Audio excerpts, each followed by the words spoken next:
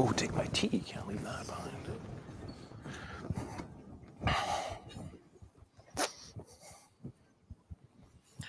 Okay, so when you evaluate, please say bio is too long. He begged me not to read it all. so uh, I gotta hook up here.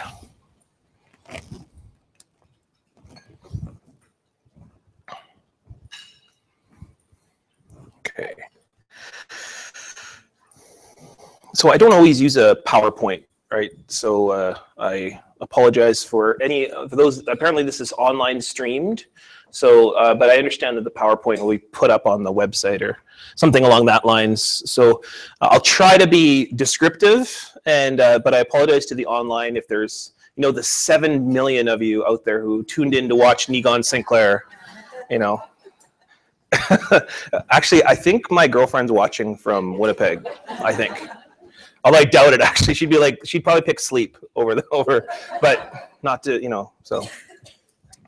Uh, so bonjour and dinwe magadaduk, uh, nigan wewadam nijnakas namagushin dodem, niminwenda momayayan.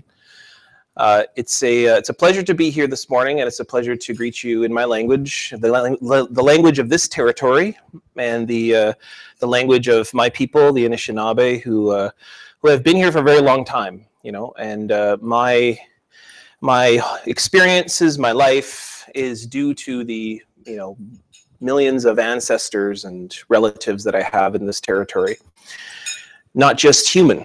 You know, and we're going to talk a little bit about who who are the who are our audiences and who are our participants and who are our relatives in these territories. Uh, I'm going to ask you this morning. You know, normally I'm teaching a class of uh, 250 first year students. And so, you know, you're all awake, so you've already defeated them. And none of you have staring at, you know, laptops and Facebook in front of me. So, uh, so I'm going to try to be a little bit interactive. So I'll try to maybe, you know, pose a few questions and get us to think a little bit. Um, but uh, I just recently spoke to, I did that a lot, but um, I just recently spoke to the International Indigenous Librarians Association. And, you know, I kind of, I've spoken to a lot of librarians over the years, uh, Manitoba Library Association, Saskatchewan, and Alberta, and so on. And uh, most of those conferences, everybody was pretty quiet. And then I went to the International Indigenous Librarians Association, and it was like one big party the whole time. People were yelling at me, heckling. It was like being in a comedy club. People are heckling me, and and so you know, feel free to if you want. I'm used to it now, so. Uh, so this is my, you know, this is the stuff that I do. Uh, you know, one of the things that I like to, to mention is, you know, I've got a few, couple books, so I'm, I'm happy to talk about those things. I'm not going to talk about them today, but my newest book, which is The Winter We Danced, which is the compendium or the collection of writings that happened during the Idle No More movement. Um, a lot of people don't know, but during the Idle No More movement, there was this huge cacophony, this avalanche of writings that took place online. And so myself and a, and a you know, group of other indigenous academics and scholars and thinkers and activists got together. We made a book together and we're called the Kino-nda-niimi Collection.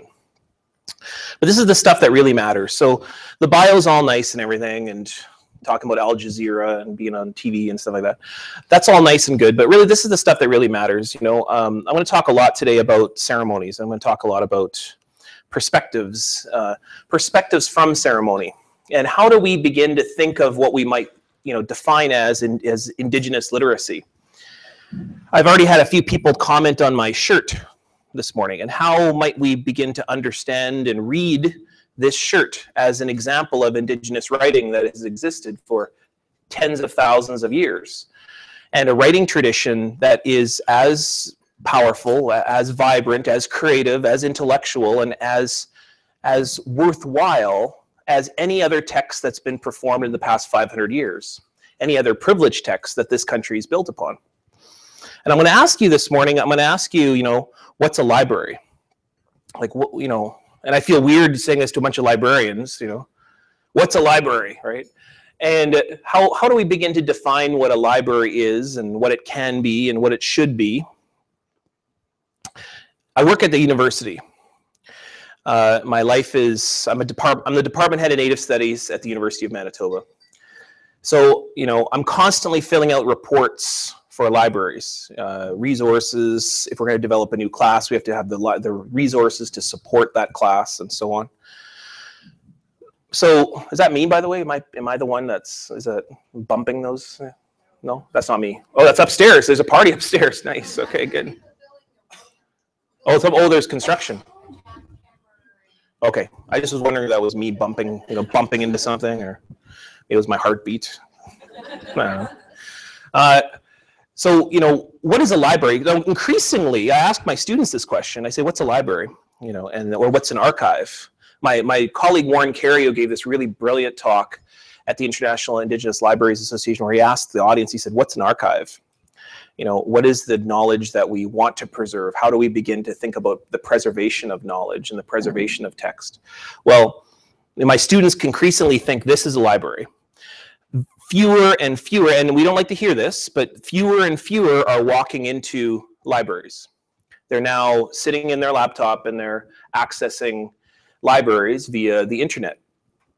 Less and less are accessing places like these you know, when I was growing up, this was the place to be. If you wanted to, if you wanted to go write a paper, this is the first place that you went.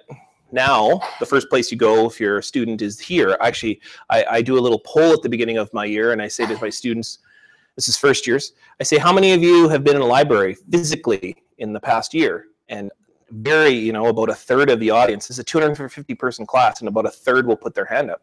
So that's interesting that that trend is continuing, and I wonder you know, I hope that that's a dialogue that you're thinking about, that you're discussing, that you're engaging, because you know, there's so many issues with ongoing issues and emerging issues with the use of the internet and credible sources and so on and so forth. But you know, when we think of libraries and we traditionally defined a library, we think of these places, right? So we think of these halls of knowledge, these collections of data, the collection of texts, the texts that are worth knowing, in many ways, and I don't really need to tell you this, but libraries are the they're the places where knowledge is valued. They're the places also that determines what knowledge is valued. And then in the end, you know, on the backside of that, they're the places where policy comes from. They're the places where creativity is often defined. Libraries are the places where power begins because this is the place that our courts are built upon. This is the place where our governments are built upon.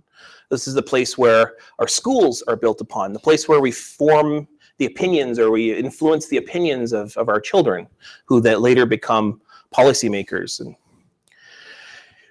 I, uh, I spend a lot of time talking to Canadians about what it means to be Canadian. That's most of my gigs most of my talks that I give over the past four years since I've really started doing a lot of this work. And the number one thing is people say, well, you know, I learned it, I learned this, or I learned this in school. Here's where I learned this. And so, you know, the more that we can critically consider what is a library, I think the more that we can profoundly affect change. We can profoundly affect the ways in which we see ourselves as whatever you define yourself to be, a Canadian or Anishinaabe or Nehewak or Haudenosaunee or, or whatever you define yourself to be. More and more, I ask librarians, and for some reason I've been at a lot of librarian talks over the past year, um, that uh, church talks to, and I'm speaking next month to the atheists of Manitoba. I don't know where my trends are going there, but, but uh, but I, you know, I speak on I speak a lot to indigenous groups as well too. Um, but I, I, say, you know, can we think of libraries? What is an indigenous library? You know, what would an indigenous library look like? Um, what would an indigenous archive look like? That's what I, I said when, to my partner colleague, uh, colleague Warren Cariou, Métis guy. And uh, it looks like this. Like that's what this is what an indigenous library looks like. This is a place where text resides. These are places that authors exist. These are places that intellectual creativity exist. This is the place where all the knowledge that you need, all the knowledge that you would require, this is the place where power begins in an indigenous world. And I feel pretty comfortable making that broad general statement, having, uh, you know, I'm, i work in Native Studies, and so I, I spend a lot of time studying tribal nations from all across North America. And one of the, the primary features that defines all indigenous nations is the deep interest in relationships with the world around. with the world around it, with the world around them. Particularly that of the natural world. And that and the ways in which we can create those relationships, every single indigenous nation has some kind of mechanism in which to understand the world around it. Uh, often called an education system or you know an intellectual system. And that is premised on the notion that the world has to be understood.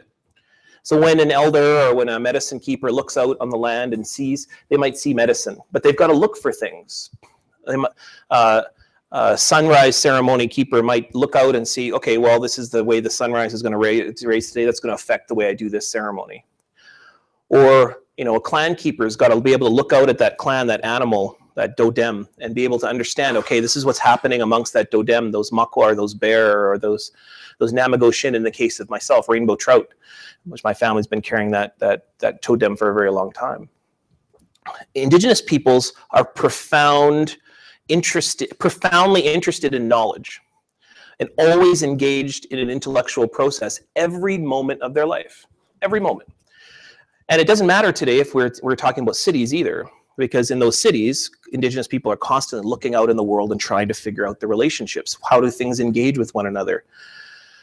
So I ask my students, I say, you know, like, what are we going to study this semester? What are we going to look at? And um, this is the work that I do. The work that I do is how do we read this place? Like, how do we read? And of course, I'm, I mean, I realize where I'm standing right now. I'm standing in uh, Northern Ontario and, you know, nearby, but uh, most of my work involves studying my own home uh, in studying my own my own area. And I come from uh, Little Peguis Reserve, which is about an hour north of Winnipeg. You won't find that on a map anymore because the government of Canada forcibly removed us in 1907 to what's now Peguis First Nation. So, um, but I say to my students, how do we begin to read this? How do we read this? And you know, you, you look to maps, for example.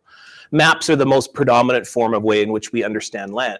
We understand the ways in which we engage with relationships in the world around us increasingly with the rise of Google and the rise of the internet, students aren't engaged with this world anymore. They're they're they're moving. They're staying inside. They're they're staying on even on their beds. I've had students say to me, "Well, I write your paper when I'm in bed." I'm like, "Oh, that's nice." That's and uh, they don't they don't are increasingly not leaving the house. They're not engaging this world, even if they you know on the path to the library.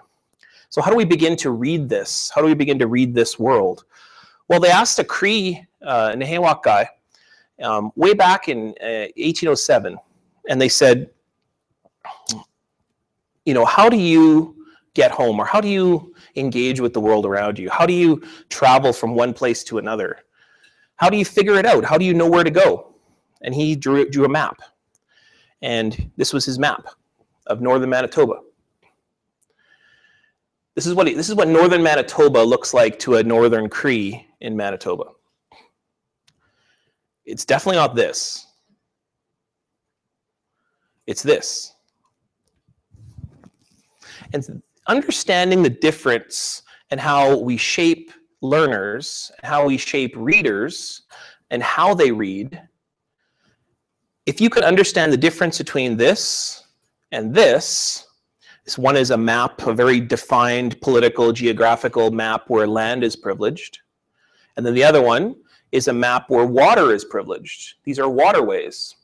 This is the way in which he, he, he said, um, this is the way I get home from the Pas to Split Lake. And there's three ways you can go, and that line just going to the right is all the way to Lake Manitoba, the huge lake in the middle of our province. Now, I really want us to think right now about literacy, because literacy is what forms the basis for what goes in a library. What we define as literate is what makes the library. If uh, you know the, the books are the walls, literacy is the paint, the mortar, the foundation. That's what's the foundation of a library, is the, the, the way we define literacy. Now, I work in a university, as I've said before. So uh, literacy is a highly debatable and definable term. It's constantly under negotiation, it's constantly under examination. Um, not so much, I would say, within the historical trajectory of the country. Literacy has been a very defined uh, term. The, the, term litera, and it wasn't always that way, the term litera is a Latin term which means of letters, and so it's a term that emerges in the 15th century. And so this this uh, this de- definition of literature comes up distinctly at the exact same time of the colonization of North America. literacy doesn't exist as, as an idea until the 15th century, and then it's used predominantly to teach uh, young men on ships on how to keep track of resources, what's coming in, how many goods are being brought in, how much, how we can we keep track of things like, you know, uh, what will eventually become money, or so on and so forth. So that's literacy comes up as this idea of being able to track goods, and that's where that history of that term literacy comes from, is from that idea that we need to keep track of things. And literacy originally is just notches on a tablet. That's all it is, of letters. Now, what is an indigenous literacy? It, does it exist? Is there such a thing as indigenous literacy? You know, because we might say to ourselves, well, you know, indigenous people never had writing, for example, or they never had text, or they never had books, or they never had a library. Well, I hope that we, we question that idea because if we can answer those questions, we'll not only understand the current situation of today, of how we see Canada and, and the power structures that make up the foundation of this country, but we will understand the complete and history of Indigenous, non-Indigenous relationships in the country by understanding that those fundamental questions of what is literacy. Now, literacy is a whole bunch of things, right? So it's reading and it's writing and it's it's literature and it's expression and all this different stuff. But you know, I'll use a bunch of sort of highfalutin terms just for a brief moment, so you know, bear with me. Um, literacy is based on the idea of meaning, right? And it's the idea of the sign or the squiggle, you know, the thing that we decide means something. Uh, if you look down on your programs, you'll see a whole bunch of signs. Those are a whole bunch of signs. And the way that you understand them is called semiotics, right? So you understand the signifier, which this the sign signifies something. And in the case of your programs, there's it sounds. It's like mm or uh or a f or whatever. So your signifier, and that's how you make semiotics. And then eventually it represents written language. Well, that's what reading is. I want to talk about an indigenous semiotic or an indigenous sign or a signifier. And I want to go all the way back to uh, initial first contact here in Canada. Now, first contact in Canada for Europeans. Now, I'm not talking about the Vikings, and I'm not talking about the, the, the trips between for that indigenous people took on sea to all across the world, which happened for thousands of years. Um, I often tell my students, where do you think peanuts came from in Asia? That came from travels from North America over to Asia. You know, oceanic travel was a regular occurrence on this side of the pond. But let's talk about French or what we think of as modern European connections with indigenous peoples right here in what will now become, will soon become Kanata or Canada. Now everybody knows this guy, right? These are actual photographs from the day from 1531. That's why I always tell people, people are like, is that real? No. It's a painting. And it's a drawing. And so, like, I know this isn't probably what really happened, but, you know, it's a representation. So, 1531, right? So who's this guy? Everybody remember? You remember from school? Who's this guy? 1531, first European explorer from France. Uh, Champlain comes a little bit later. So Cartier. Cartier, yes. So but Champlain's an excellent guess, excellent guess. Champlain actually probably has a longer and more influential history than Cartier. Cartier is, uh, I'll just say he was a complicated individual.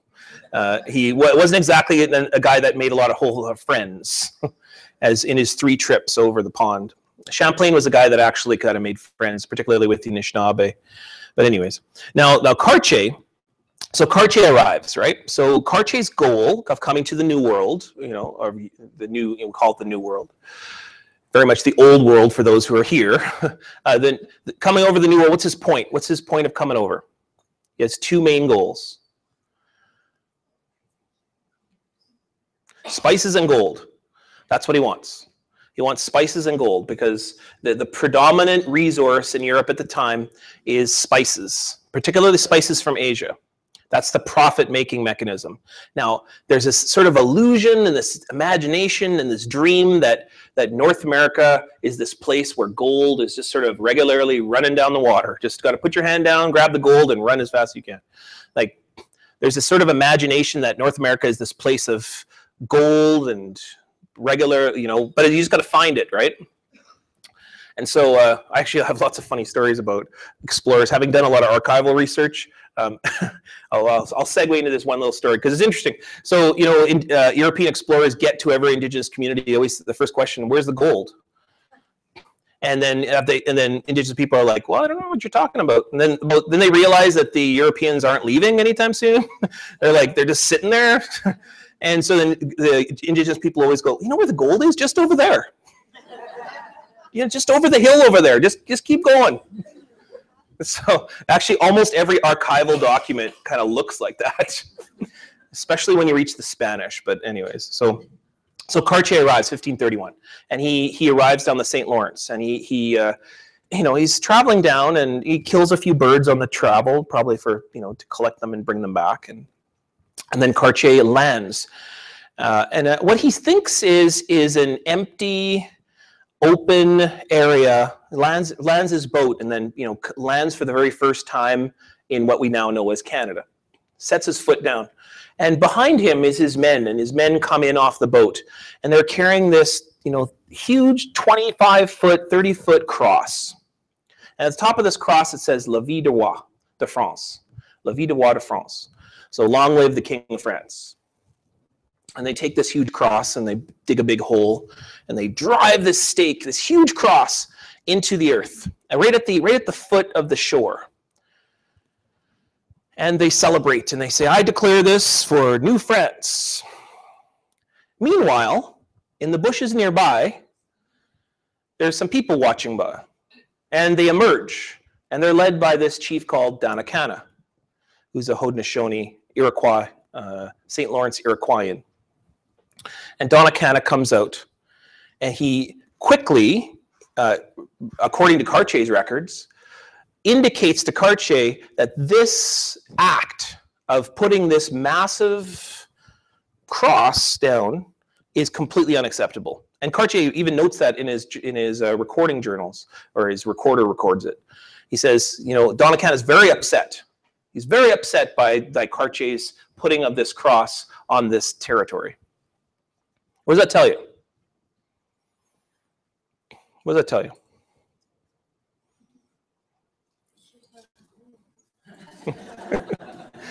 that tells you well that tells you that you know what what if i came into your living room and then i just you know i just put a big huge i just took a big picture of me and i just hung it on your wall and it was like la vie de nigon like, how would you feel about that? You'd be like, what's this? Who's this guy? Now, eventually, if we created a relationship, if you got to like me a lot, you'd maybe put my picture up on the wall, maybe. But I got to earn that, right? And how do you earn it? Respect, time, gifts, maybe saying hello. Cartier didn't do any of that. Cartier just came in and said, All right, I'm just taking over. It's my living room now. And so, what does that tell you? That tells you that Donnacona completely understood what the signifier of what Cartier was doing. What does that tell you? That tells you that Donnacona knew what law was. He knew what respect meant. And he knew how when you walk into somebody's living room, that you maybe say hello. That maybe you bring a gift or two. And maybe, maybe you show a little bit of respect. Donnacona understood completely what writing meant. He understood that because this was an instance of writing. This was an instance of Cartier writing, literally, if there was a map right there, Cartier would write New France. That's what he did when he said this is New France and when he put La, La Vie de Roi de France. It's an instance of text. What does that tell you? Donnacona was profoundly literate. That's what it tells you. It tells you that indigenous people completely understood what writing meant. Now, if you don't believe me, let's try let's try something else. Now, 1671.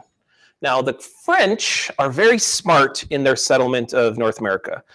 unlike the British. Now, I don't mean to insult any British here. I'm British too. You know, I got I'm from the Warren family, going all the way back to England. So, the British um, they adopt this policy of not marrying into Indigenous families. the French, however, don't have that policy. Um, the French, in fact, French traders adopt the policy of, of marrying into multiple Indigenous families with multiple Indigenous women um, to the point where it begins to become a problem. Uh, where I'm on a date in uh, you know 1995, and this uh, wonderful woman who I'm on this date with says, "I think you're my cousin," and and then we traced it back to this French trader in the 18th century, and we're like, "Damn it!" The Simards, that Louis Simard. Thanks, Louis. Anyways, a little bitter about that one, but anyway, so you know, um, but let's zoom to 1671. So 1671 in Sault Ste. Marie, very close to here. So, uh, or for the Anishinaabe, what we refer to as Bawating, uh, the, the place of the rapids. Now, um, there, a French leader named Saint Lusson comes across, and he's traveling very quickly across the Great Lakes. Why? Because the French are very adept at creating relationships. Unlike Cartier, the French realize that if they're able to create relationships very quickly and what's called friendship treaties, or alliance treaties, they can move westward very quickly, particularly through the Great Lakes, where the British don't quite realize that. They decide they're just going to come in and monopolize trade and, and continue to upset people. It's not until they get to the Hudson Bay where they realize a different method, where they come through the Hudson Bay area into Manitoba. But St. Lusson uh, invites all the Anishinaabe leaders at Bawating. Now, if you know the power of Bawating or the relevance of Bawating, Bawating is one of the most sacred areas for the Anishinaabe. It's the fifth stopping place. It's fourth and fifth stopping place. It's the it's the place in which Anishinaabe stopped for many, many generations, and many Anishinaabe still consider that to be sacred territory. Even during the War of 1812 and before that, um, the, the Bawat, was the homeland of many Anishinaabe. It's the gateway also to Manitoulin Island.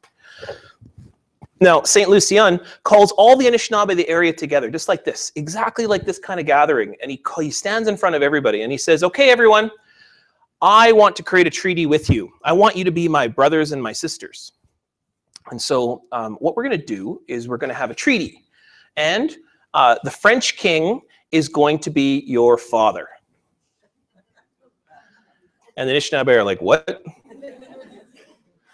And the, the, French is like, the French king's like, okay, so listen, we're going to make him your father. He's going to take care of you. And as a result, you're going to give us free reign in territory. You're going to only trade with us and so on. And the Anishinaabe are like, well, that's actually not so bad because um, if, if you have a caretaker for a family, somebody that decides yourself in your life um, for Anishinaabe, particularly amongst young men, that would be your uncle.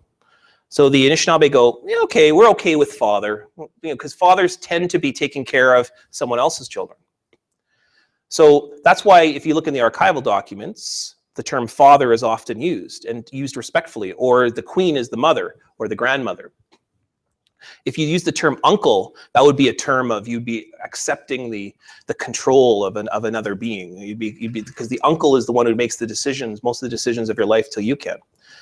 So St. Lusson says, okay, here's what we're going to do. We're going to make a treaty, and it's called. We're going to call it, uh, you know, our peace and friendship treaty, and we're going to be family from that point. So they, so he puts down, he puts a metal stake in the ground, and then he goes and he signs it with his French name, and then he invites all the other chiefs to come up, and he says, you sign it too, and so they all come up, but they don't sign using their name. They sign using their dodem. And so the recorder says that the governor's delegate then attached to the stake an iron plate on which the arms of the king were painted. He drew up an official report of the transaction, which he made all the peoples by their chiefs, who for their signatures depict the insignia of their families. Some of them drew a beaver, others an otter, a sturgeon, a deer, or an elk.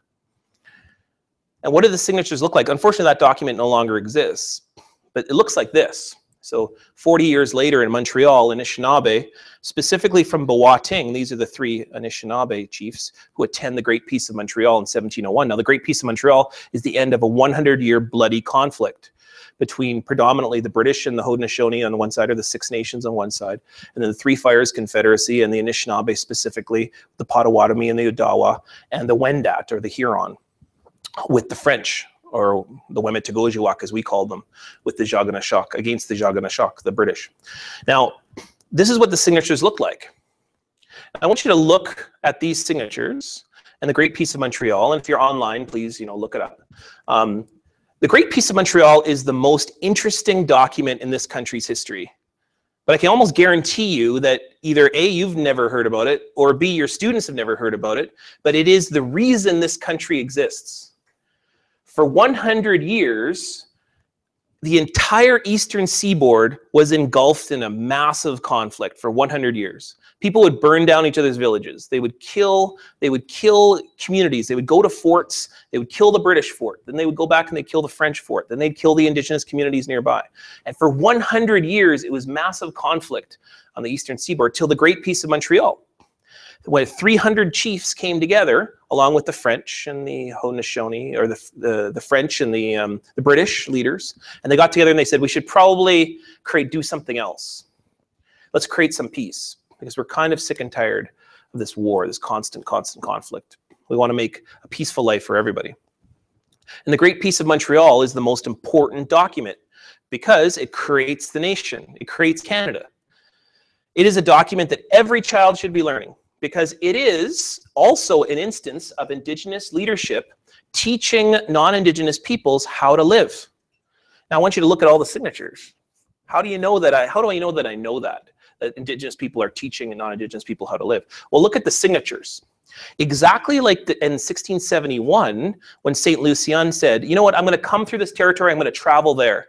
Anishinaabe said, as our relative, here's who you're gonna meet. And not only here's who you're going to meet, but here's the people that you're going to meet. And not just, I'm not just talking about the, the, totem carriers, the people who carry those totems of the beaver and the, the otter, the sturgeon, the deer, the elk. But here is the landscape you're going to, you're going to meet. Because fish don't just live in the air, they live in water. Deer don't just live randomly up floating around, they live in forests. Bears, rocks, birds, trees, and so on. What the Anishinaabe were doing by writing for the newcomers was saying, here are the relationships you're entering. And as much as we, we recognize you as family now, that we share a father, and that you are entering a series of relationships that we have too, and that you are a part of the family. And when you come into the family, just like Cartier, you know, you don't come in and start uh, throwing, you know, you don't come, you don't go into somebody's house and start moving the furniture. You don't go into someone's kitchen and start just helping yourself to the Captain Crunch. Although uh, that would be awful if you did for yourself and for everybody else. but you don't, you don't just walk into somebody's house as a family member and start pushing yourself around. Now, how many people have an auntie or a grandmother that they, write they you know, or their uncle or a family member that they visit regularly? Yeah, right? Everybody does, right? When you, uh, now, I have my Auntie Diane. My Auntie Diane's my, one of my favorite people in the whole world. I, I love her very much. Um, my Auntie Diane, when I, when I go to her house, first thing she does when I knock on the door, I give her a hug, and I, is she sits me down, and what does she do? She gives me food, yeah, or particularly gives me tea or a pie that she's been working on, right? Or something like that. She gives me a gift. And then she says to me, immediately following that, she says, how's your day, my boy? You know, or she says, tell me about what's going on for you. How's work going? And then I tell the story. And then I say, and you, auntie, what's going on for you? How's bingo, right? Now, she, and then she'll say something like, well, I'm only doing 33 cards these days. And you're like, 33 cards? my, my auntie should work for NASA. I'll just say that. But anyway, so like, you know, uh, what have I just told you? I've told you about a mechanism of gift giving that involves greetings, names, food, and then stories. And that's how indigenous peoples create relationships. That's called a treaty. That's how people create families. Because if you work hard enough, if you're lucky enough, your families are based on those premises, on, the, on those methods. And that's the way indigenous peoples created relationships for hundreds and hundreds of years. And you can see it within the very treaty itself. Back in 1671, you can see when Cartier had to learn what it meant. And you can see it all the way back to up to 1701. You can still see it in 2015 in my auntie's house. Now, one other story about Cartier. Cartier uh, wasn't so great at relationships, eh? So he invites Donnacona onto his boat. And uh, um, the second that he Donnacona comes onto his boat, he brings his two sons. He actually brings three sons, but he comes onto the boat. And Cartier immediately, uh, you know, on the, under the auspices of trade, because Donnacona thinks they're going to have a trading relationship. Cartier grabs Donnacona's two sons and he captures them and he takes them under decks. And Donnacona's like, what's going on here? Cartier says, well, I just want to take your sons. I want to take your sons because I need them. I need them to show me where the gold and the spices are. And Donnacona's like, I don't even know what you're talking about. I don't know what gold are. I got some birch tea. Does that help? You know? And Cartier's like, no, I'm taking the sons. And Donnacona, for some unknown reason, decides to let his sons travel with Cartier, probably to create a trading relationship with Cartier. But now, Cartier then goes up the St. Lawrence River, doesn't find any spices and gold, surprise, surprise, or any spices particularly that he's interested in, a whole lot of medicines, a whole lot of life. But then he goes out to the ocean. And a few days later, the young men realize they're not coming home. And so, what do they say? Uh, you missed the spices and gold, turn back. That's what the boys say. But then they also say, Cartier says, Where are the spices and gold? Where are the riches? Tell me where the riches are then. Where, where do I look for? And the boys say, The riches are in Kanata. The riches are in Kanata. And so, what does that mean? What does Kanata mean? Kanata is the word Iroquoian word for village. And the young men have just told Cartier where the riches are. But are they the riches that Cartier wanted? Because the riches of a village are in my auntie's house in 2015. That's where the riches are. They're in the greetings, they're in the stories, they're in the food, they're in the love. That's where the riches are. But the riches that Cartier wants is the spices and the gold. Now, for hundreds and hundreds of years, indigenous peoples have been writing. Hundreds of years. And not just hundreds of years, but thousands of years. Uh, there's only documentation for hundreds of years. But if you look at the archival evidence, the archaeological evidence, the stuff that science shows you, it's actually tens of thousands of years. The very first treaties of Manitoba had the same principles, the same principles when Chief Peguis gave to Lord Selkirk. Uh, signifiers. And when he gave them the signifiers, he said, Here are the people you're going to meet. Here is your family now. These are the beings that will teach you about the earth. These are the peoples that will help you read what you need to know about how to live, how to travel on the water. And so the bigger issue here is what is writing? What is the, how do we define writing? Because if writing is the value of a sign and the way in which we see a sign, and we create a signifier, so if we see this and we create the word leaf, then who made the determination that leaf, or these four squiggly lines right here, is the be-all end-all of writing? Uh, when did that happen? And when did the, the idea of the semiotic, or the idea of the signifier, become that? Become that was the one and only signifier that means anything. That's the knowledge that's that's the knowledge that we value. Those squiggly lines over there how is it that we can think about this? You know, uh, how do we begin to think about signifiers that exist for thousands of years? Now, the problem is the country is based on the exact premise I've just talked about, is that the signifier of placing a, a 30-foot cross is the signifier that's valued. And the Supreme Court of Canada is based on this idea. Because in 1763, a few short years after the Great Peace of Montreal, when Indigenous peoples wrote and explained to non-Indigenous peoples on the landscape, here's how you live. Here's, this, here's the, the recognition that we are family. Here is the recognition of Kanata. Since 1763, King George, the, King George III, or KG3 as I like to call him, it's, that's a street name. KG3 says, everything I see belongs to me and he passes the Royal Proclamation. The Royal Proclamation um, is the document that you've probably learned about. It's not the Great Peace of Montreal, but the Royal Proclamation is probably what you've learned about. The Royal Proclamation is the beginning of Canada. That is the premise and the foundation of the country. The premise and the foundation of the country is that everything I see belongs to me. That's, this, that's what King George III states. He says, Indigenous peoples have what, the, what we'll call title, or will eventually be called title, but it's limited title because it's only title insofar until I get there. And then when I get there, they have to sell to me. And they can only sell to me at a price of my choosing. And then after that, they have to go to an area that I set, a, set aside for them, called a reserve. Now, KG3 is not a guy that's uh, that's all that invested in the survival of indigenous peoples, but he is invested in the, in the idea that they will be separate. They will just get out of the way of progress. Now, the problem of this is this seems all kind of absurd and this seems very Cartesian, if I were to use a verb, uh, you know, seem very Cartier-like to kind of just walk in and go, well, this is all mine now. But it sounds like this, you know, if if I said right now, you know, I got the addresses of all of your homes, I'm going to go there sometime in the next week. I'm going to knock on your door and I'm going to buy your house for five bucks. Now, I'm not a mean guy. I want you to live so you can live in the bathroom for the rest of your life. Now, you can live in that bathroom. If you complain or if you try to leave, I'm going to put a guy outside your door called a bathroom agent. And that bathroom agent's going to make you stay in there. Why? Because he has a gun. If you try to leave, he'll hurt you. Now, I'm not a terrible guy you know, you can come out once a year for 15 minutes. You can come and collect maybe a few scraps of food in the kitchen, but you got to go back to the bathroom right after that. You have to get a pass from the bathroom agent to leave. Now, here, you know, I'm not a mean guy.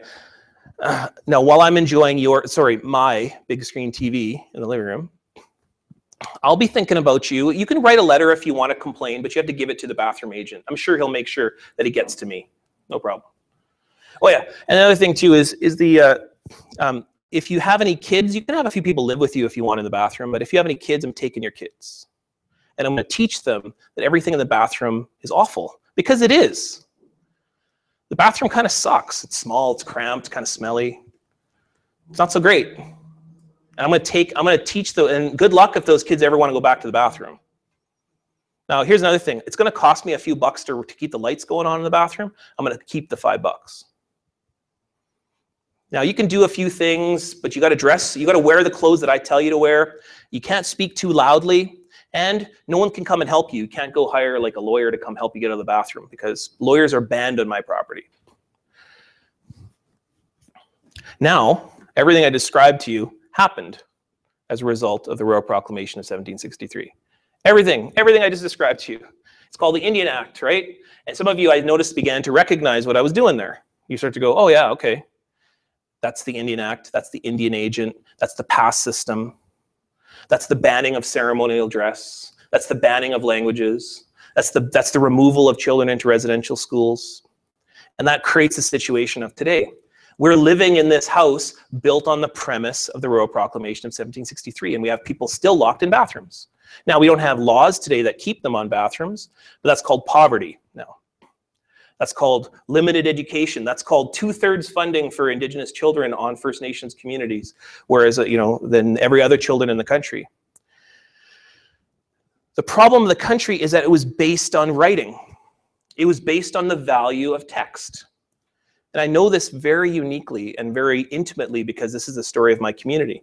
In 1907, they held an illegal vote because it was in the way of Manitoba progress. Manitoba was bu building this, you know, the postage stamp province. It was becoming one of the economic hubs. The train line was coming through, and the Indians were in the way. My community was in the way. Even though we were the most Christian settlement, we were the most, uh, we spoke probably the most English. We definitely spoke a whole lot of Cree, but we, spelt a, we also spoke a lot of English. And we, uh, we were the most, the best farmers in Western Canada. We're so, we're so good, we defeated all the other farmers in and around Selkirk. People were jealous. People were upset that the Indians were doing so well, particularly the St. Peter's Indians. And so in 1907, they held an illegal vote. And what they said is they said, without any announcement, just 50 minutes warning, they held, put a big rope in the middle of the community. said, anybody who wants $90, stand here. Anybody who doesn't want $90, stand here. There was no record of who was voting was kept, and there was no explanation of what the vote was about. 123 wanted $90. 97 didn't, which should tell you a little bit about the resistance of, to $90. For the next month following, we were forcibly removed. And the argument was, You have no land claim. There's no land. Show me the piece of paper. The piece of paper that matters is this surrender document that your community just voted for by standing on the earth. And many of those people weren't even part of the community anyways. Unfortunately, this is the history of Manitoba. The history of Manitoba is the removal of the Sayisi Dene, the removal of the Chemawawin Cree, but we call that Manitoba Hydro now. We flood out the community. And we say, oops, sorry, well, here's some money, but we made a dam because you didn't have a claim there anyways. Residential school is the same thing. Your unfit parents, we need to put them into we need to put them into schools. The 60 scoop. Your your your practices are savage and heathen in this household and we need to be removed.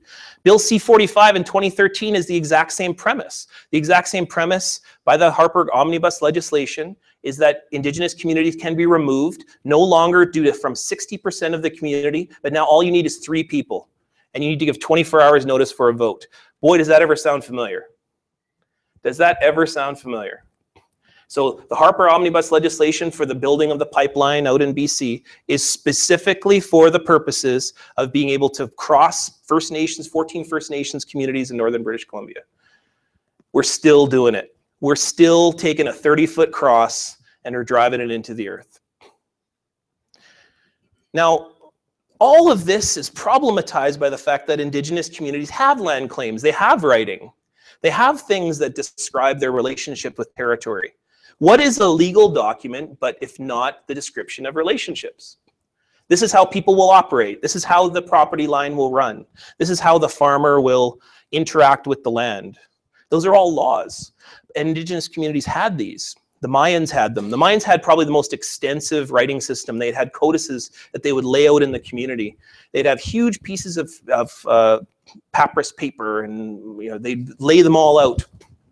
And medicine knowledge keepers would explain these large pieces of paper to the community. The Sayisi Dene had them, but they had they uses rock face. And if you look very closely at the, these ongoing writings, which they still continue to add to every year, these are stories of creation, but stories of relationship. So I'm no expert on the Sayisi Dene, or sorry, not the Sayisi, but the, the Anasazi. Sorry, this is the Anasazi. I'm no expert on the Anasazi.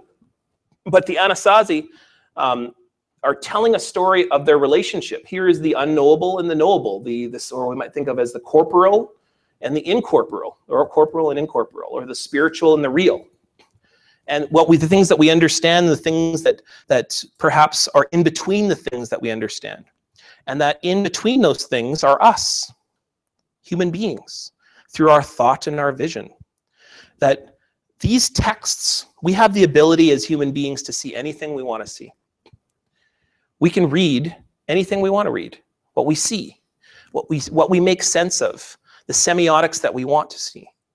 Now, indigenous writing systems have been going on for tens of thousands of years. There's, there's um, text written in sand, text written on rock, text written on trees, and not just human text too. Because if any of you have ever seen an animal mark, a, sorry, a bear mark a tree, what is the bear telling you? Well, he's telling you uh, here's how big I am, and here's my territory. And if you're a female bear, here's some scent you might want to follow for a visit later. Now, uh, bears are, are writers. Bears are authors. Now, indigenous writing systems, by this point, I hope that you see my argument. My argument is that indigenous writing systems are highly intellectual vessels. They're vessels that not only tell you about your relationships, but then how to live in your relationships, who you're going to meet along the way, how to interact with those beings, interact with them as family. And that not only do you, can travel, but you can also learn a whole lot about the landscape. You can learn about the stars. You can learn about places. You can learn about names of places. You can learn how, even how to make peace after 100 years of bloody conflict. So all of these things exist in indigenous writing systems. And I want to show you one, which is the, this, this, the story of the migration of the Anishinaabe. This is the uh, birch bark scroll that James Red Sky kept for hundreds of years that explain the migration of the Anishinaabe. It's our creation story, our creation story that tells the story of how I got to be here in 2015 at the Ontario Library Service North Conference.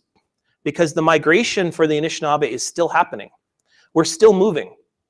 We, we may have started out near New York and in the uh, Nation, and we, but we moved over hundreds of years and we stopped in a place called Bawating along the way. And we met with a man called St. Lusson, and we agreed that he would be family. And then we kept moving, and we had more stopping places. We eventually ended up in a place called Manitowabo. And Manitowabo is this place where the life lives on the water. The life comes from the water. That's what that word means, Manitowabo. Manitowabo is the, the spiritual, the essence that comes from sacred water. Manitowabo, Manitoba. And so and that's that's how we trans. That's how we. This is a, a, regular map from the Mishomis book, a great book if you have a chance to look at it. Um, but this is the original birch birch bark scroll that talked about our travels from the Atlantic Ocean all the way to Leech Lake. In Manitoba, these are these stories take place on rock faces. These are rock paintings that take place. And if you start here, um, right here in Sudbury, and then you move west, north, uh, east, sorry, yeah, northwest. You go northwest from here, you'll find what James Dumont or Jim Dumont, who gave, gave me my name, um, talks about as a quarter of Anishinaabe texts, all written on rock faces, on trees, on landscape, in the very footprints of the Anishinaabe. And that on the very, um, you know, they just discovered 193 hearth, uh, fire hearth at the forks. This is evidence of text. These are evidence of not only just settlement, but also evidence of presence and the story of people's lives. So let's go back to the map of 1806. So Peter Fidler, who's a map maker in Manitoba, goes to northern Manitoba and he says to Chewapiwati, which is a man who's traveler, he's going from the Pas, and here's the paw right here. Anybody know where the paw is? The paw. And he's going to Split Lake. he says, how do you get home? He says, well, I can go this way and here's all the people I'm going to meet along the way. Or I can meet this go this way, and here's some other people I'm going to meet along the way. Or I can go this way, and here's some other people I'm going to meet on the way. All of these things represent water flow. And they represent the ways in which families interrelate with one another. They represent the ways in which people interconnect. They talk about the history. They talk about the relationships. They might even tell some stories about who's marrying who and which community has which, you know, who's had a baby this year. Um, they might tell a story about the family that lives on this river and how they've been warring with the family or arguing with the family at this river, uh, up right up the river here. Now, there's a whole history, there's a whole life that lives within this map. And so Manitoba Hydro, uh, who uh, I've had a contentious relationship with in the past, um, but has done some very good work in Manitoba, you know, has brought electricity particularly to Winnipeg, um, and now is transporting electricity to Minnesota to sell and to is Manitoba Hydro's argument is that when they make a, what's called consultation or Section 35 under the under you know what's called the spirit and the intent of no the uh, of Aboriginal and treaty rights, Canada recognizes Aboriginal treaty rights, Section 35 of the Canadian Constitution. What's later called the spirit and the intent of treaty. When they negotiate, they'll say, okay, so we want to build a dam. So here's the dam right here, this little orange spot right here, the, the new Keeyask generating station. And we know that there's going to be some environmental damage here. It's going to stop water flow and stuff like that. So let's talk to the communities right here. Let's talk to these communities, these two communities here. And let's make a negotiation with these. Well, here's the problem. The problem is, is that it affects more than that.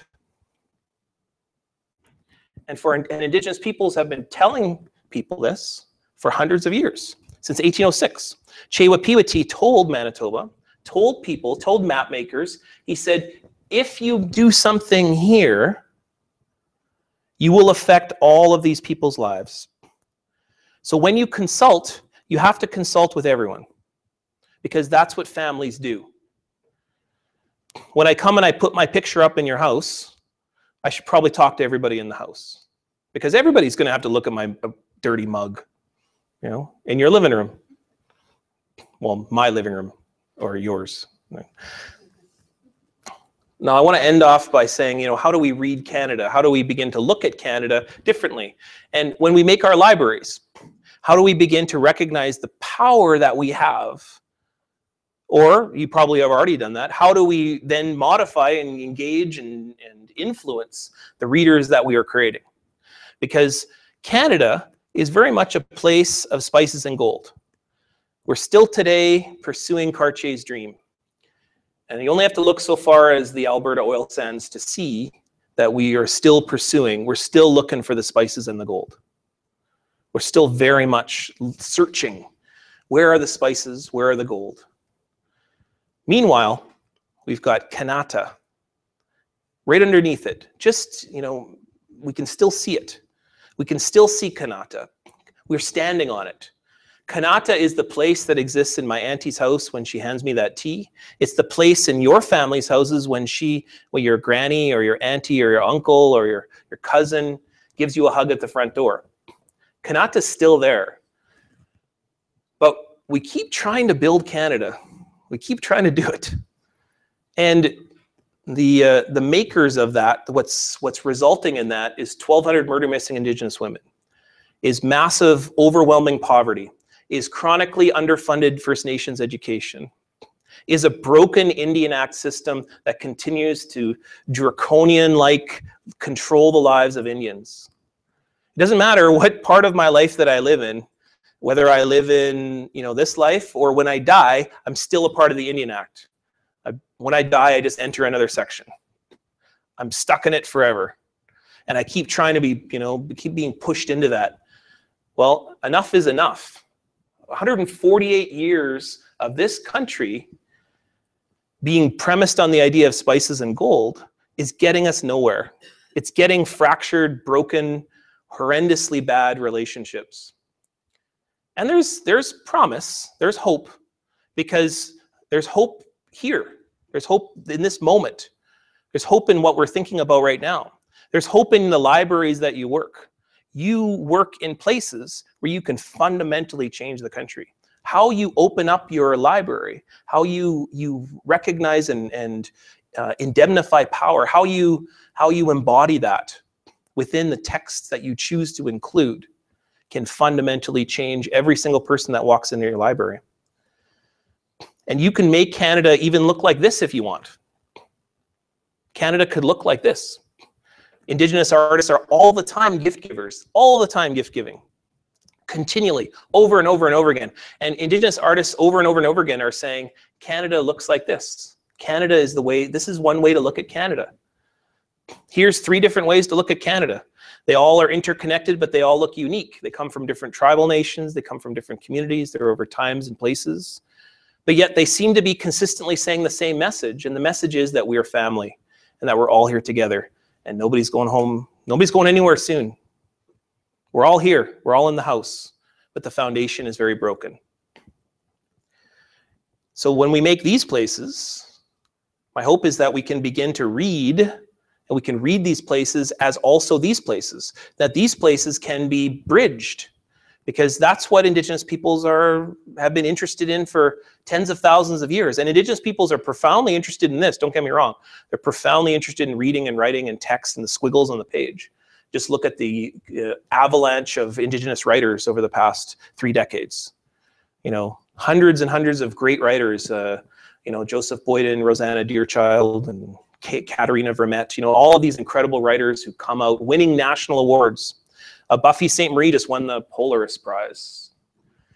You know, all of these incredible. Uh, here's something that I'll give you hope for.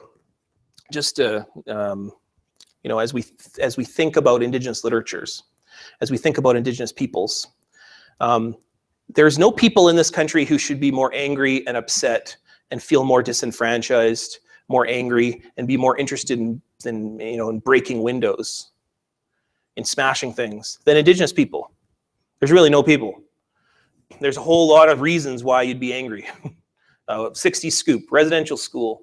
But yet, during every single instance indigenous peoples, with the exception of a few moments where it's become very contentious, almost unilaterally, the Idle No More movement, the Truth and Reconciliation Commission of Canada, um, the Royal Commission on Aboriginal Peoples, almost every moment indigenous peoples have said, let's sit at the table and let's talk. The Kelowna Accord, I'm not saying I'm not endorsing anybody's policy, but that was a great instance of everybody coming together and saying, let's have another talk. Let's let's talk some more. Nobody wants to smash any windows. That's profound. That's uh, there's hope for you right there. The indigenous peoples are engaged in a relationship. They're engaged in creating kanata. Because indigenous literatures are constantly challenging us all to think about all these things. And what is literacy is that the fundamental premise, the fundamental center of it all. Indigenous peoples challenge our sense of reading and our writing. And lastly, our semiotics. How do we create signs that matter? So now, now you're going to go out and you're going to think about libraries. And I hope that you start to see, or maybe you already have, um, the Millennium Library in Winnipeg, which I've worked with a lot, uh, has done a really interesting, profound, uh, provocative, and exciting series of works that have incorporated notions of science and the natural world and indigenous knowledge into their very programming. It's very encouraging. And the most exciting thing of what all of that is, is that, that they've had this massive library rebuilding and they had an opportunity to reshape their entire library. And now they get, they have the largest uh, incoming interested readers that they've ever had probably a lot due to the, that programming, but also the other programming and the active and interesting people that they have working there. So when we look at this, we can see not just the land, but we can also see the waterways. We can see a different place and that we can see a different way of seeing, a different way of reading. Because there's no other hope that we have than if we than we have in our libraries. There's no other there's no other place I think better than our libraries in schools, our libraries in our communities, our libraries in this country, than places that reward, invest themselves, and ultimately change our sense of knowledge. So with that, I say miigwech, and thank you very much for listening to me. And I guess there's some questions or something, so.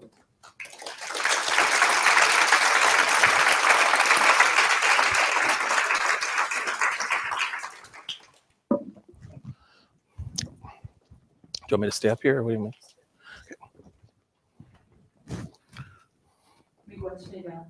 Um, are those mics live?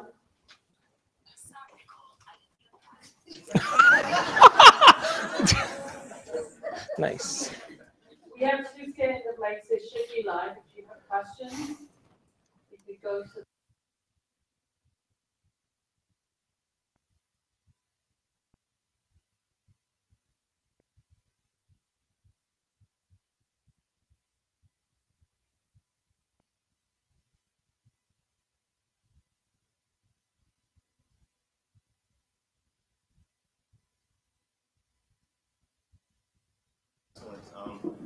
as you were as you were talking, I was thinking about. Can you hear me now? the the three books you mentioned at the start of your presentation. Sorry. the ones you've been a part in publishing.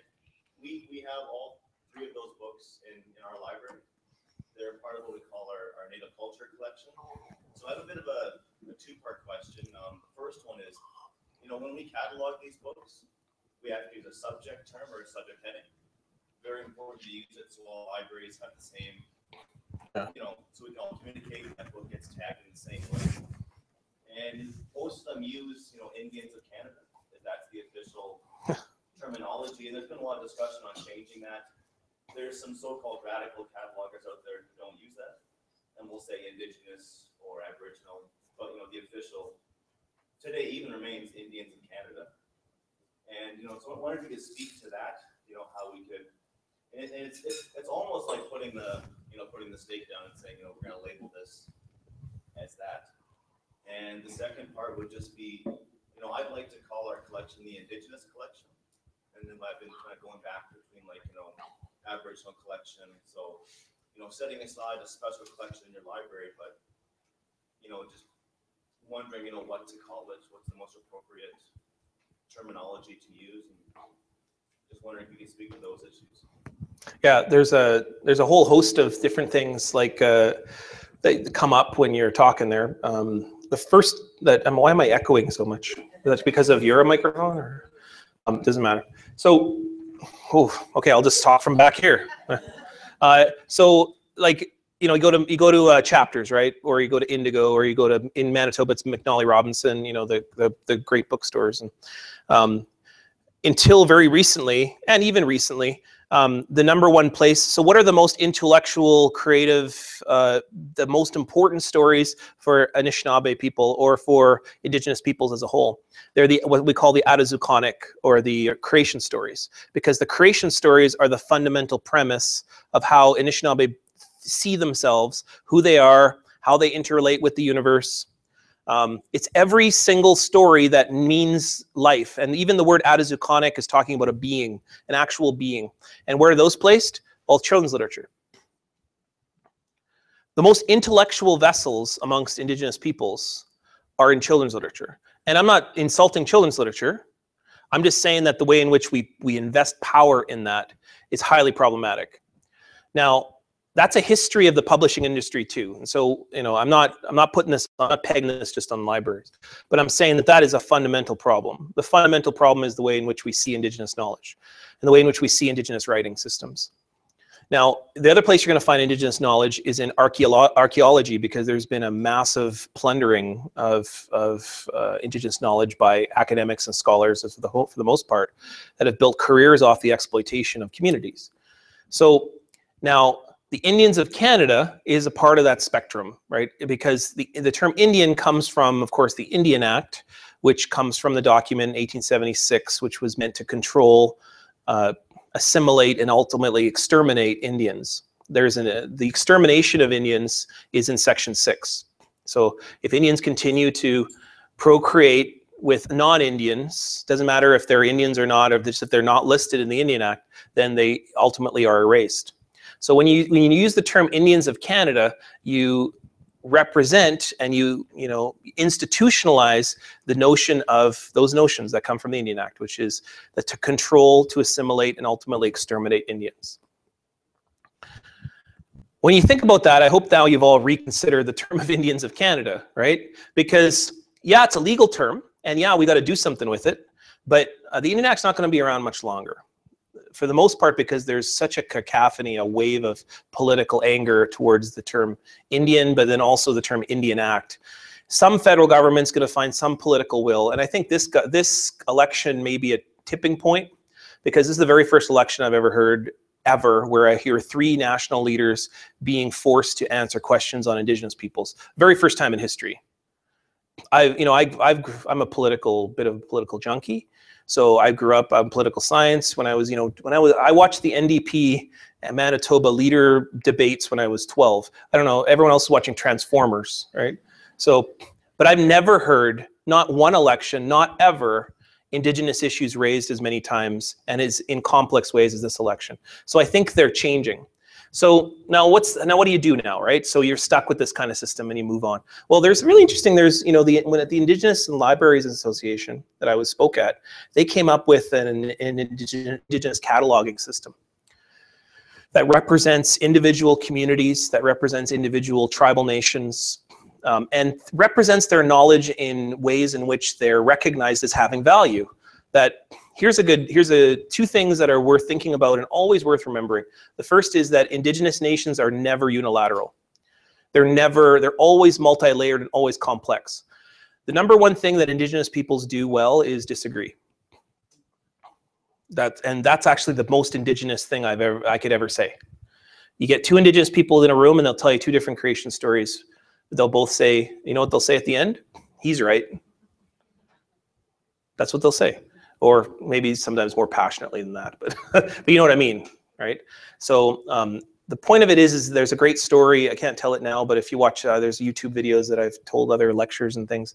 Um, uh, there's one that I told. It, look for. It's called Two Fires, Two Center Fires to Creation, and it's a it's a creation story that uh, that I was told amongst the Cherokee, and and um, the Cherokee have this great stories about there being two center fires of creation. What they actually mean is that there's multiple fires of creation. And that, you know, amongst the Anishinaabe creation story, when you have an elder that tells that story, um, the elder will often say, almost every elder I, I, uh, I respect says this at the end. It says that this creation story does not erase other, other creation stories. This is a creation story that's equal and valid as any other creation story in creation. Okay, so that's important, right? So that's the first lesson I wanted to, to, sort of underlie. First is that indigenous nations, you need to have a you know bookshelf, a section on just the Anishinaabe. You could have that now. There is such a there is such an avalanche of writings of Anishinaabe. In my in my um, office alone, I have three bookshelves of just Anishinaabe studies. My book, Centering Anishinaabe Studies, that was a shameless plug there. Um, uh, talks about all the different Anishinaabe people that you know are thinking about Anishinaabe-ness, and almost none of them agree. But that's the most amazing thing about being Anishinaabe, because the definition of Anishinaabe is well, there's several defini- definitions, but one of them is the spontaneous people, the people who are constantly recreating, and they're creating due to the world, the uh, influences, the engagements, but also themselves. That's what Anishinaabe means. Also means the good people, or it means the people that were lowered, a whole bunch of other things. Now, okay, so that's the first thing. Second is that libraries have take a are their leaders. Libraries have leadership roles to play, uh, much more than politicians. Oh my God! Don't leave this to the politicians, and don't leave this to the universities. And because the universities are swept up in the politics of the politics of recognition and the politics of there's so many problems in the ways in which universities are able to negotiate knowledge and then influence. There's so many pro- power problems, power dynamics that libraries can do this on their own. I think Indigenous is a good step. Aboriginal was a good step before. There's a whole contention of what do you call peoples. Um, the way that I think about it is Aboriginal is very much a Canadian thing. If you go internationally, you're not going to get people who understand what you're talking about. Whereas if you go to if you say Indigenous internationally, people will get what you're talking about. But if you go to the United Nations, you start talking about Aboriginal people of Canada, they'll be like, "Is there Australians there? What's going on there?" And so, like, there's a whole sense of confusion around the term Aboriginal. But Aboriginal is also very encompassing. It's very specific to Canada, so it can be very useful because it's talking about it's talking about First Nations, Inuit, Métis. Very few terms include Métis, and the Métis are, you know, there's no other body of people who who have been more legally, socially, politically disenfranchised than the Métis. The Métis have the biggest struggles because they have there's no document that even recognizes their their treaties, their relationships. And the Indian Act, the first thing the Indian Act did was cut out the Métis. You know, so eh, that you know, so those two steps I think are useful to being able to look at Indigenous. But I think the Indigenous classification system amongst the uh, international librarians, Camille Callison's taken a leadership role in that. Um, who, of course, my colleague at University of Manitoba. But that's I think it's provocative and it's interesting, and it's certainly worth talking about. Certainly worth bringing, you know, uh, someone like that who knows that kind of knowledge in for to speak with um, service providers such as yourselves who are dealing uniquely and in, you know specifically with Indigenous communities. Because I want you to imagine now you got some young Anishinaabe kid coming in, and he is very first time he'll say to you like my daughter, my daughter's nine, she'll say I'm Anishinaabe. Uh, you know, I'm so proud of that. And you know how hard it took for me to get her there? Like, because she's got to watch Pocahontas and those other crapola. You know what I mean? Like, like I got to get her to a, to a point of pride in herself. Because, and you got to defeat all the other stuff. This, the whole country is based on the idea of the Indian Act and the, and the erasing individual tribal identity. We don't even recognize indigenous words. You know, uh, I say to people, what does Canada mean? Where does it come from? And, and very rarely do I get people, a majority of people who understand that's a that's an Iroquoian word, or Manitoba that that's an Anishinaabe Cree word, and uh, or Winnipeg is a Cree word as well. And so when I say you know Anishinaabe Cree people have made you who you are, people are like, no, they're not. What are you talking about? I get all that, and I finally get my daughter to walk into a place and go, you know what, I'm Anishinaabe, and that's awesome. And then you turn and she looks at the section Indians of Canada, and I'm like, damn it! Now you're the problem too, and I gotta I gotta fight that too. You know, I gotta I gotta put pride in who she is and teach her who she is. So, you know, do it for her. She deserves it. Okay. Was there another question? That was I give long-winded answers to. Know, so.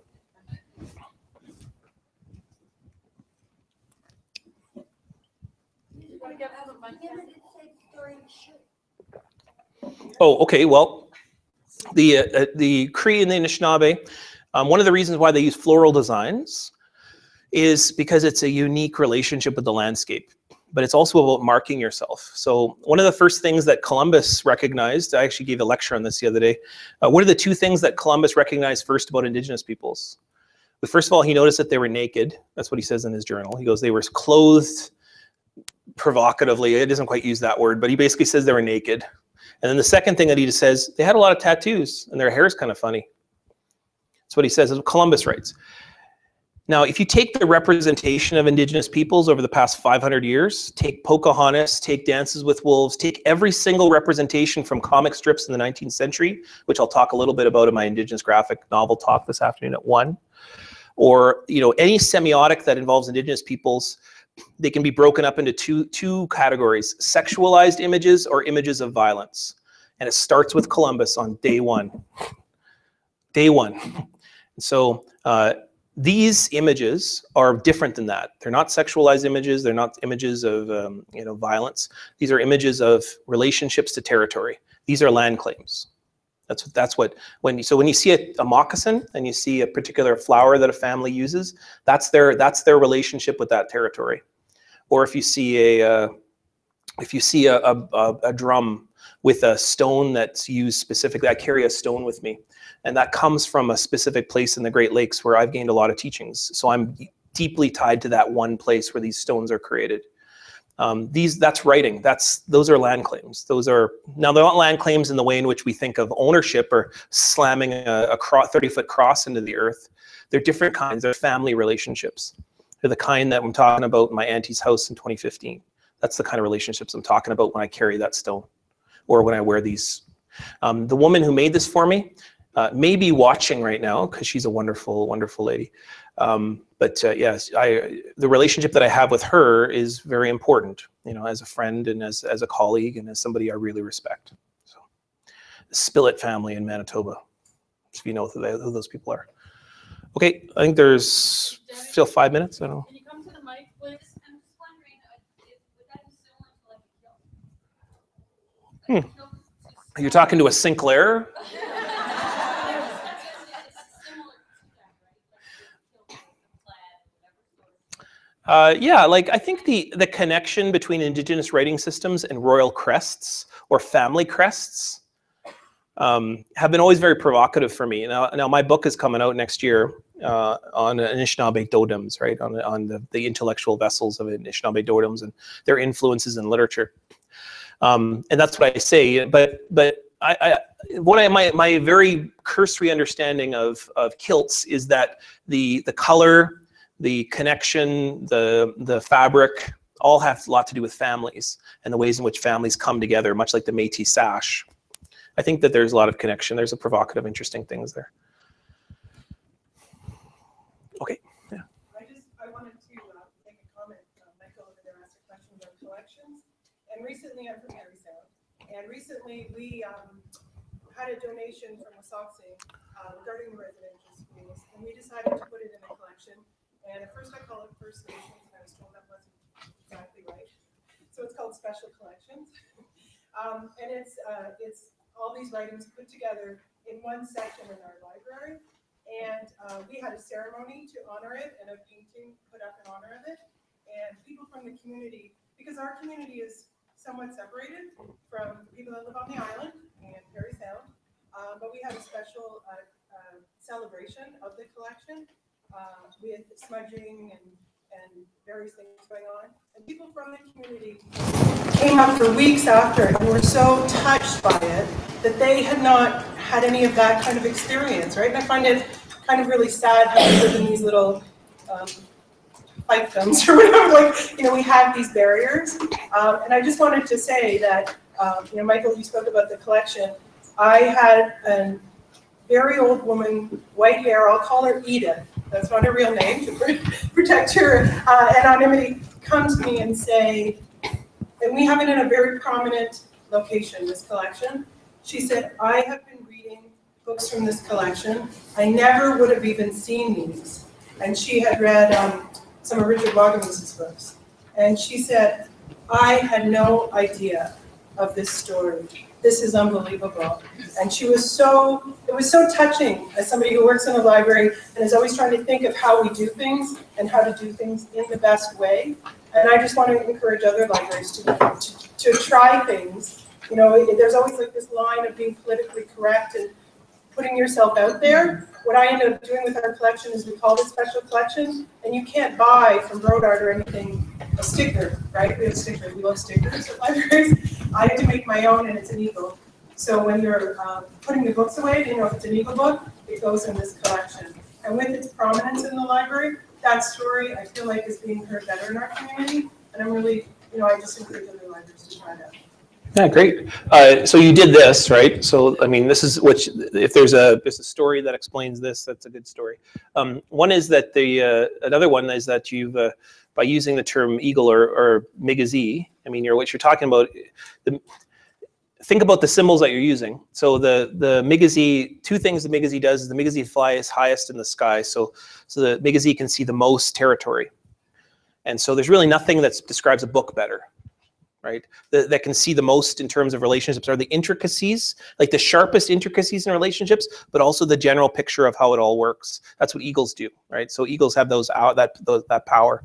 The second is that the eagle is a gift giver. So the, the the eagle gifts leadership. That's what the eagle gives. And so and those are those are recognized in the filaments of the of the feathers. So the way the feather is able to stick together and make that's what that's what leaders do. Eh? So that's why an eagle can fly because an eagle can't fly like this. So an eagle flies because the filaments of the feathers bring together. So that's um, Richard actually talks about this. Is who taught that? Who taught me that is Richard Wagamese. So Richard's a friend of mine. So the feathers, when they're together, that's what the eagle teaches. That that's what leaders do. That's why uh, eagles will gift a feather to a leader or an, an ogima amongst our people. So that's an important thing to recognize. And I think that um, think about the symbol that you used for that. You may not even know that you used it, but you did. So it's for me, it's the Migizi collection, right? So that's good. Um, but those kind of ways of thinking about names and the ways in which you celebrate knowledge and honor knowledge, you did all of that with your with your especially with the smudge ceremony, right? But then also with all the different parts, inviting the community in, um, listening to that elder who told you about their their uh, in, interest in that collection. Um, the, there may be some there may be some people interested in you know the name special collection but indigenous peoples have a special relationship with canada. It's unique. No other culture no other groups of people no other share that relationship. It's called treaties right? Or often treaties but in non-treaty areas it's called aboriginal rights right? So but special and unique relationships with the country. So those are all things that are recognized within that library. Sounds exciting. Sounds great. Wait, oh.